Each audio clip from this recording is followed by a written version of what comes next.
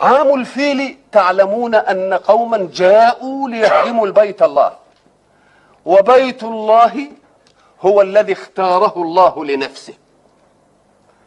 وحوله نلتف جميعا في الصلاة.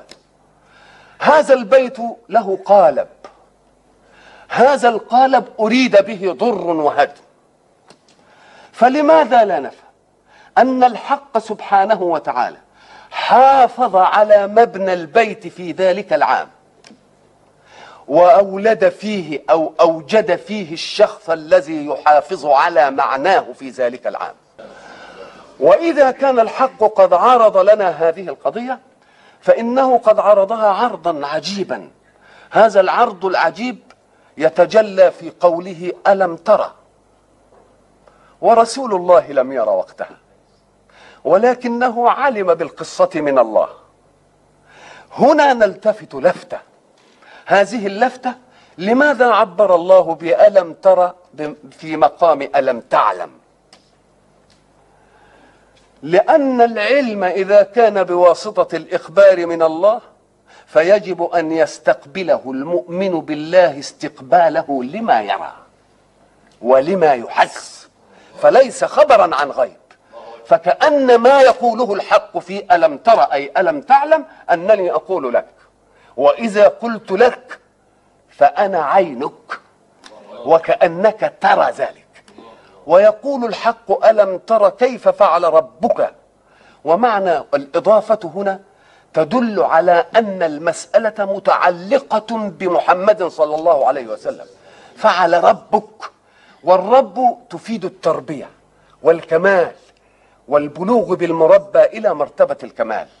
ما دام فعل ربك يبقى لمحمد صلى الله عليه وسلم علاقة بالمحافظة على ذلك البيت.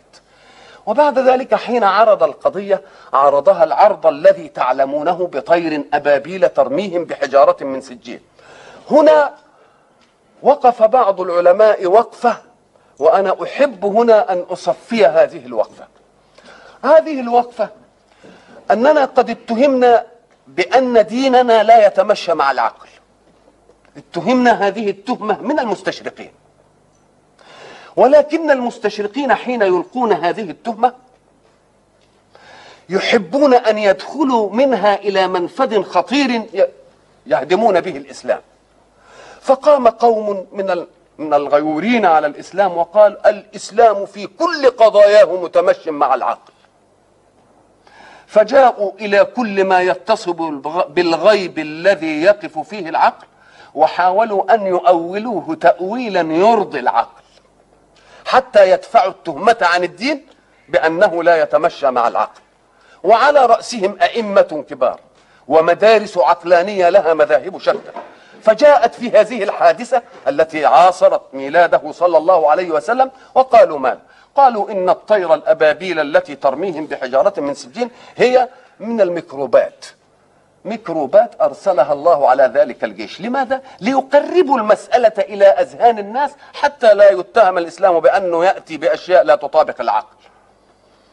نقول لهم أنتم مشكورون على غيرتكم في أن تدخلوا بعض قضايا الغيب في الإسلام إلى مرتبة العقل. ولكن الأديان لا تناقش هذه المناقشة.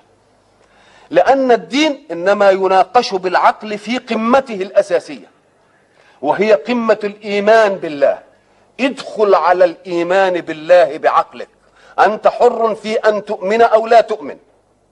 ولكن إذا دخلت على الإيمان بالله بعقلك فتقبل عن الله كل ما يقول.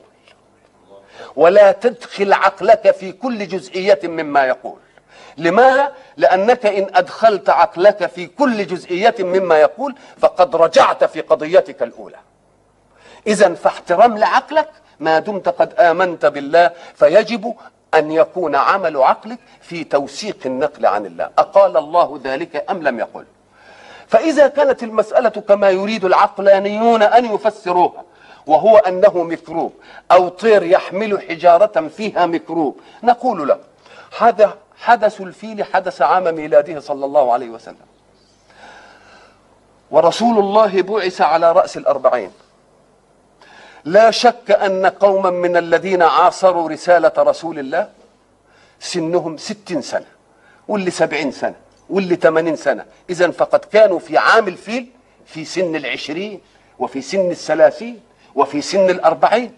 إذا فقد شاهدوا الحدث وهم لم يعرفوا المكروب ولا قصته ولا يعرفون شيئا عنه.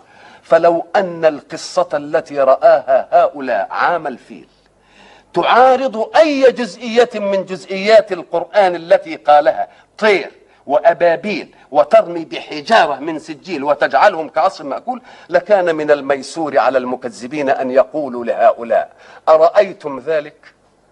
كان من الميسور أن يكذبوا الأمر إذا فالمسألة حدثت كما قصها القرآن وكما يفهمها العربي من طير أبابيل ترمي بحجارة من سجيل تجعلهم كعصف مأكول وهب أنك جئت بالميكروب لماذا؟ ألتسهلها على الله؟ الذي يقول المكروب أتسهلها على الله؟ لا نقول لهم وأيضا إذا كنا نصدقك في أنه مكروب ما ذلك الطير العاقل والميكروب الموجه الذي لا يتوجه إلا إلى أعداء الكعبة. يختار قوما دون قوم فيلقي عليهم ميكروب. وما ذلك الميكروب الذي يفعل فعل السحر في أنه بمجرد أن يلقى يفتك بالجسم فيجعله كعصف مأكول بدليل بدلالة الفاء ترميهم بحجارة من سجيل فجعلهم. والفاء دي للترتيب والتعقيب. ده الميكروب إذا دخل جسم لا بد له من فترة طويلة من حضانه ثم فترة طويلة من فتك ثم فترة طويلة بعد ذلك يرم الجسم وينتن وإذا رم وأنتن وبعد ذلك يتمزق. فما ذلك الميكروب السريع العاجل الذي إذا نزل جعل الجسم كأنه عصف مأكول. إذا فسواء قلت ميكروب أو غير ميكروب فيد، فيد السماء وفعل الله متجل في كل شيء. ولو كان في الميكروب كما كما تقول. الحق سبحانه وتعالى حين يعرض أمرا من الأمور فيقول فعل ربك يعني كما قلنا اطرح قوانينك. لأن الذي فعل هو ربك. وما دام فعل ربك يبقى ما تجيبش القوانين اللي انت في اللي انت في عرفك هي الفاعلة. فعل ربك تلغي عقلك. انتهى إلغاء عقلك ده ثقة في من قال. وما دام ثقة في من قال يبقى أنا عقلي تحملها أو لم يتحملهاش الإيمان يتحمل كل شيء. ولذلك قال بعض العارفين العقل كالمطية يوصلك إلى باب السلطان ولكن لا يدخل معك عليه.